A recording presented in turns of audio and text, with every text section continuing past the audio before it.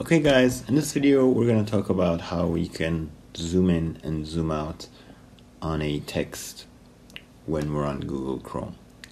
So, this feature is usually useful if you want to have a better view of uh, a web page or something that you're viewing, or maybe you want to increase your general resolution on your page. You want to have it look cleaner and crispier and or if the fonts are too big or the fonts are too small.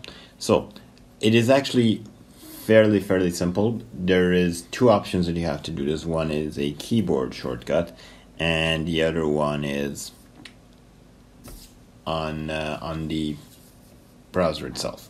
So let's get down to it. I have a Wikipedia page up as a sample. As you can see, the text isn't too small or big but we're gonna see how to zoom in or zoom out of the text. So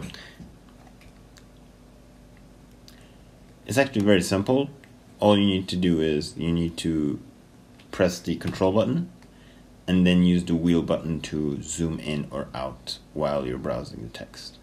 So as you can see, I can I'm zooming out now. It's almost unreadable and I can zoom in. Now, as you can see, you're seeing a lot of descriptions here. You're seeing uh, percentages, uh, control, and all that stuff, some settings. As you can see, you're, as I'm zooming out, 100% is the default state that you have on this feature. So 100% is how normally your browser is going to look.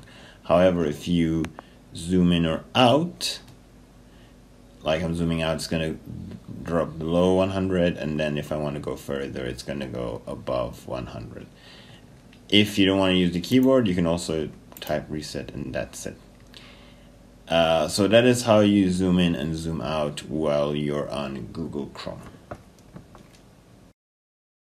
Thanks for watching the video. If you liked the video please make sure to click thumbs up subscribe to the channel check out similar videos like this if you're interested.